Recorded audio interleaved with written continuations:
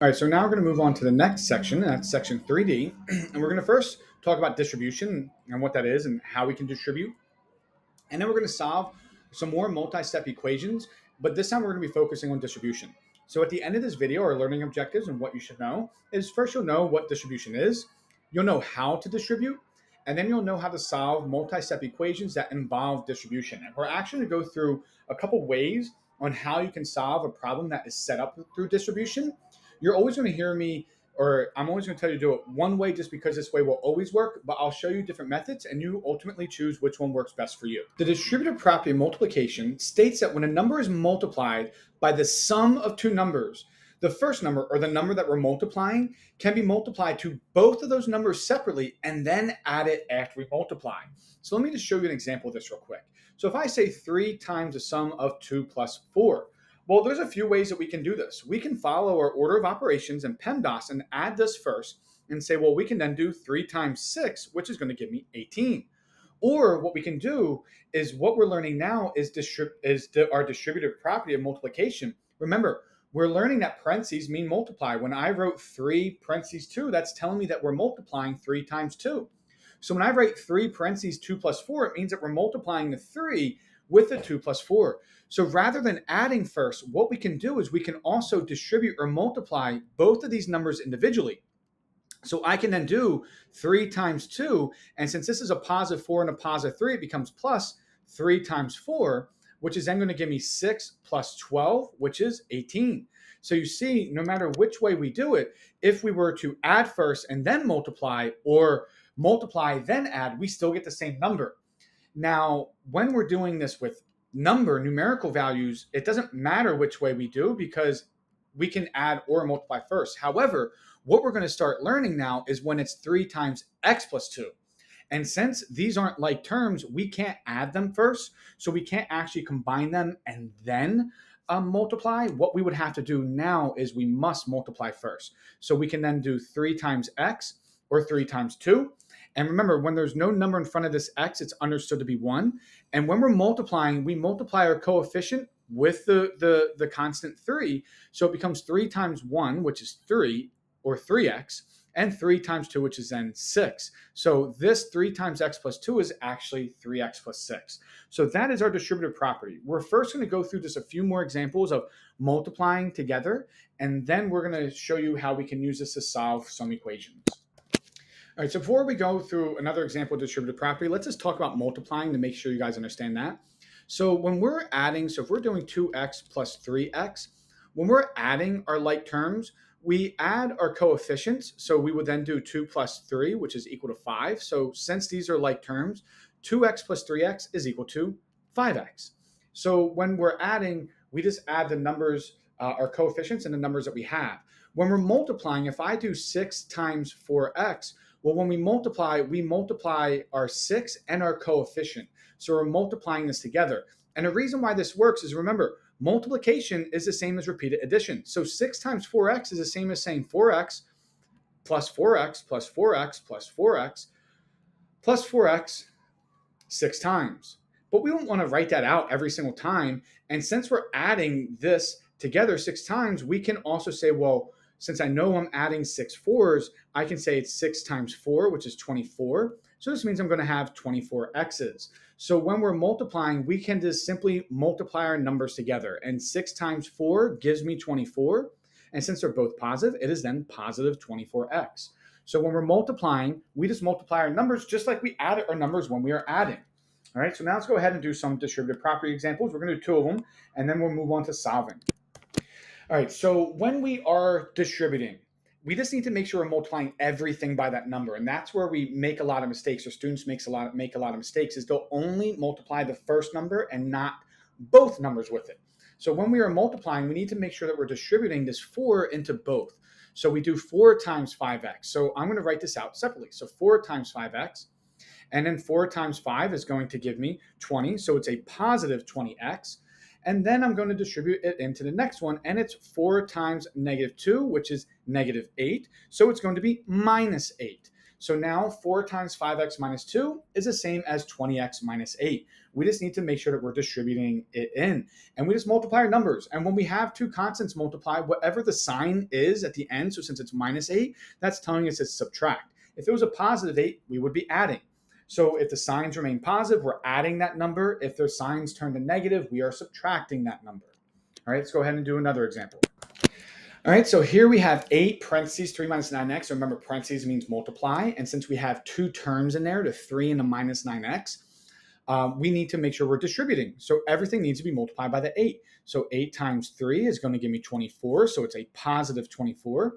And here, when we do 8 times negative 9x, we're doing 8 times negative 9, which is then going to be negative 72.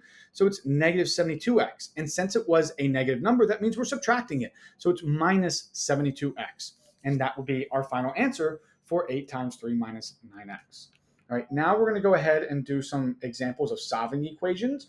And they're going to have distribution in it. I'm going to show you two ways that we can solve. Um, and it's up to you which way you want to choose. It's ultimately your call. Um, but I'm going to have you lean towards one way until we get a little bit more comfortable with solving equations because that way will work every single time. And if it gives us a fraction as our answer, we don't have to worry about that fraction until the very end. But if if if uh, in some examples, if you try to get rid of your distribution first by division, um, then you might have fractions earlier in your problem, which might make it a little bit harder for you to solve. All right, so let's go ahead and do a couple examples now. All right, so here's our first example of 2 times x minus 8 is equal to 24. Now, remember, we have multiple things going on here. So when we're solving this, we're actually going to be doing our PEMDAS in reverse. And now let's see, what is it that we have? Well, when we have this 2 with parentheses, that means that we're multiplying. So I know I'm going to be multiplying, and then I see the parentheses on the inside. So when I'm solving in the reverse way, as I told you before, we get rid of what we did less first. So since there's no addition, so now the, the subtraction I see is inside that parentheses. So I wouldn't actually deal with that subtraction until after I get to my parentheses if I'm going to do it this way first. So that means the first thing I have is my multiplication and the inverse operation of multiplication is division. So if you're going to do this way, the one thing I would suggest is make sure that the number that we have here, 2 and 24, are actually divisible. If 2 does not go into 24, like I'll show you in our next example, we wouldn't I wouldn't suggest you do this first and wait till the end. So if I'm going to get rid of my multiplication, I can divide both sides by 2. They then get rid of each other. They cancel out because it's 1. And now I'm left with x minus 8 is equal to 12. And now I'm done my multiplication and I go to my parentheses. So once I get inside my parentheses, I actually have to start this PEMDAS all over again because now I need to figure out, well, what's inside my parentheses. So as I look here, the only thing I have inside my parentheses is subtraction, and the inverse of subtraction is addition. So that means I'm going to add 8 to both sides, and then I get minus 8 plus 8 is 0. So x is then equal to 12 plus 8, which is 20. So our final answer is 20.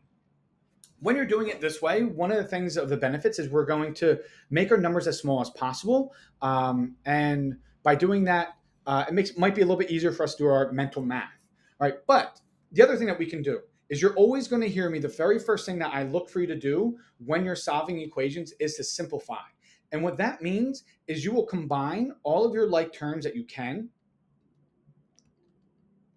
or you will multiply if you can, or divide, but uh, it's usually just multiplication.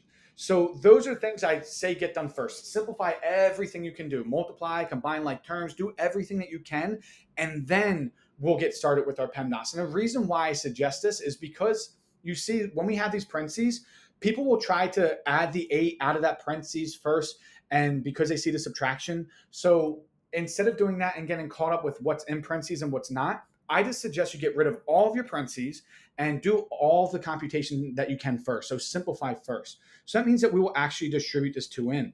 And 2 times x is going to give me 2x because this is a 1 that's understood to be in front of there. So it becomes 2x. And then 2 times negative 8 is going to give me negative 16. So it's 2x minus 16 is equal to 24. And then from here, we are going to add. Uh, so now after I simplify, I'm sorry, after I simplify, I'm then going to look at my PEMDAS. Now there's no other parentheses I have. So whatever is appearing, I'm going to get rid of first. So I see I have the subtraction and then I have the multiplying. So now I don't need to worry about my parentheses and if I'm doing something too soon. So when I'm going into my reverse order, I just need to make sure I'm getting rid of my subtraction first. And the inverse of subtraction is addition. So I will add 16 to both sides. This will cancel out and give me zero. So 2x is equal to, well, 24 plus 16 is 40. And then from here, I get rid of my subtraction. There's no addition or division. My multiplying, my inverse is division. So since I'm being multiplied by 2, I'll divide each side by 2. And that is then going to give me that x is equal to 20. So you see, no matter which way we do it, we get the same answer. The difference is we're dividing 24 divided by 2 instead of 40 divided by 2. So it's a little smaller number. And then we're doing 12 plus 8 instead of 24 plus 16. So when we're able to divide first, then it will just give you smaller and maybe easier numbers to work with. However, not every single time is it going to work out like that. So I'm going to do another example with you where the numbers aren't divisible. And that's why it might be a little bit better to always simplify first. And also, if we're always simplifying every single time, if that's our first thought process when we get into any problem, it might be a little bit easier for us than when we are solving uh, later on. Uh, because it's the same steps we're doing. So we're, we're kind of just memorizing the same thought process and logic to solve instead of jumping back and forth between different types of problems. Once you get a little bit better of a hang of it, then maybe I would suggest that you start to logically think and critically think about what might be more effective or faster. Um, but until then, maybe we just follow these steps of always simplifying first, and that means combining any like terms or multiplying. All right, let's move into our next example. All right, so now we're to move on to the next example. And this one is what I was talking about. I see that I'm multiplying by 3, and what it's equal to is 20. So if I try to get rid of that multiplication first, I'm going to be dealing them with this fraction of 20 over 3, which I'm going to have to be doing multiplication, division, adding, subtracting with it. So sometimes it might not work out for us to divide. So that's why I always suggest the first thing that you do is simplify. And our next example, which is going to be our last one, you're going to see even more as to why, if we try to get rid of that um, distribution first by division, that it's going to be even harder for us at times. So I'm always just going to suggest that you simplify first. And what that means, again, remember, is that we are going to combine any like terms that we can. And we're going to do any multiplication. That's usually the two things that we will be doing when we are simplifying. All right, so I see it's 3 times 2x minus 4, so I'm going to distribute. Well, 3 times 2 gives me 6, so this then gives me, whoops, not 2x. Uh, this then gives me 6x. And then I'm going to distribute the 3 into the negative 4, and 3 times negative 4 is minus 12, so it's minus 12 is equal to 20.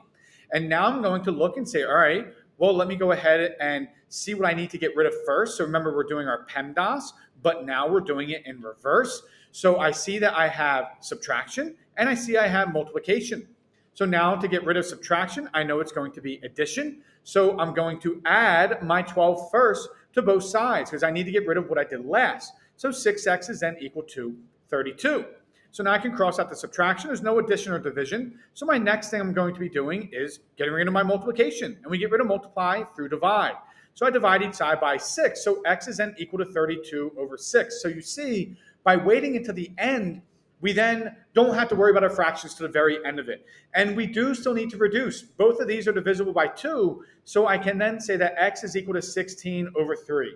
Now you can write your answer as an improper fraction, you can write it as uh, a mixed number, or you can write it as a decimal uh, if you really wanted to. Uh, I highly suggest that you leave everything as an improper fraction going forward because that's usually what we will be using when we're doing any kind of calculations as we get into higher level maths. We usually don't leave it in mixed numbers. So I would suggest us leaving a ha- get in the habit of leaving it as an improper fraction. All right, so there's one more example we're going to go through, and that is it. All right, so this is the last example that we're going to go through. Um, and when we see this here, um, if I see I have multiple parentheses, so that means multiple distributions. So if we were to try and divide this, there's a lot of things that can go wrong. So that's why I always suggest that we just look to simplify first, right? And with our simplification, we will have combining like terms that we're looking for and multiply. And it doesn't need to happen in this order. Maybe we multiply first, maybe we combine like terms first. It's just whatever or however the problem is presented to us. Well, these mean multiply. So we're going to go ahead and multiply. So we have 3 times 2, which gives me 6. So we have 6x and 3 times minus 8. So 3 times negative 8 is negative 24. So it's minus 24. And then we're going to distribute the 2 into this other parentheses. So we have 2 times 4, which is 8. So it's plus 8x because it's positive. and 2 times 2, which is going to give me a positive 4. So it's plus 4 is then equal to 8. And now that we multiplied everything, there's no more multiplication, but we do have like terms that we can combine. We have 6x and 8x, and we have minus 24 and plus 4. So I'm going to go ahead and say, well, 6x plus 8x, well, 6 plus 8 gives me 14, so it's positive. So it's positive 14x. And then I have minus 24 plus 4 is equal to negative 20. So it's minus 20, and that is still equal to 8. Now there's nothing else that we can simplify. There's no other work that we can do here to, to uh, simplify our problem. So now we're just going to go ahead and solve by using our PEMDAS in reverse again. And we're going to see, okay, what is it that we're doing? Well, we're multiplying and subtracting again. So to get rid of our subtraction, we know we're going to add. So since it's minus 20, I'm going to add 20 to both sides. And that gives me 14x is then equal to 28. So I get rid of my subtraction. There's no addition or division. Well, the inverse of multiplying is divide. So I'm going to divide both sides by 14. And that means x is then equal to 2. So that is my final answer. x is equal to 2. And if we wanted to check our work, we can plug it back in. All right, so that is it for this video.